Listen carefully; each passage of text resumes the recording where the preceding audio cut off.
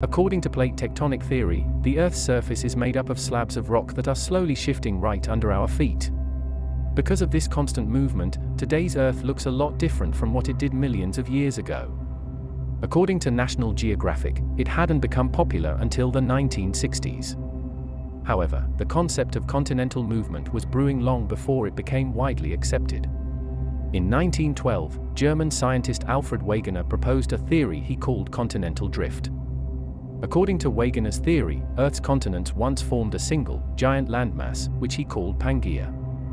Over millions of years, Pangaea slowly broke apart, eventually forming the continents as they are today.